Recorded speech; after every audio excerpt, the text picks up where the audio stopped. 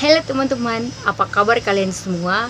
Welcome back to my channel English with Fanny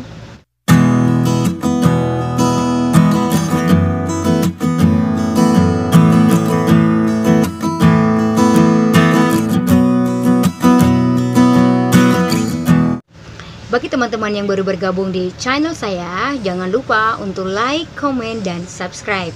Dan tentunya diaktifkan lonceng notifikasinya, agar kalian tidak ketinggalan lagi materi pembelajaran lainnya dari saya. Di video kali ini, kita akan belajar tentang simple present tense. Di mana simple present tense sendiri sangat sederhana dalam kehidupan sehari-hari. Bagi teman-teman yang belum menonton video saya tentang apa itu simple present tense, silakan nonton videonya di atas sini ya. Dan tentunya kalian pasti paham bagaimana penggunaan simple present tense tersebut. Berikut adalah contoh kalimat yang saya buat bagaimana penggunaan simple present tense. Yang pertama yaitu digunakan untuk menyatakan kegiatan yang diulang-ulang. John always goes to school every morning. John selalu pergi ke sekolah setiap pagi. She usually gets up at 5 o'clock every day. Dia biasa bangun pagi jam 5 setiap hari.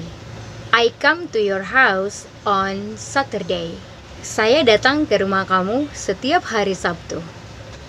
Nah, yang berikut adalah untuk menyatakan kebenaran umum.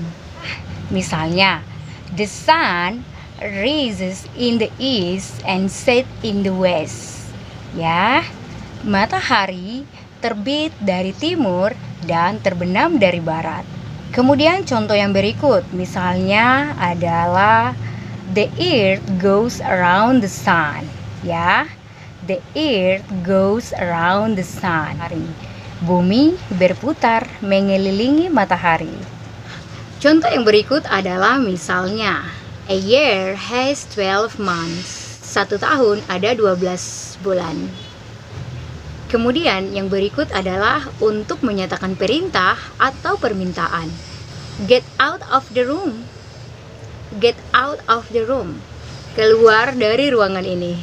Call the police if you want panggil polisi jika kamu menginginkan atau telepon polisi kalau kamu mau. Let's us do our homework. Mari kita mengerjakan PR kita. Dan simple present tense yang terakhir digunakan untuk menyatakan larangan atau peringatan. Don't do it. Jangan kerjakan itu. Don't tell about him.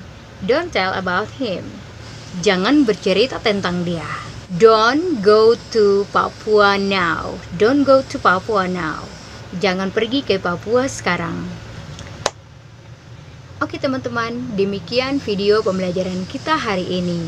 Dan itu adalah beberapa contoh penggunaan dalam simple present tense. I hope you guys can understanding and know about a little bit how to use a simple present in English. And thank you so much for watching and see you in next video.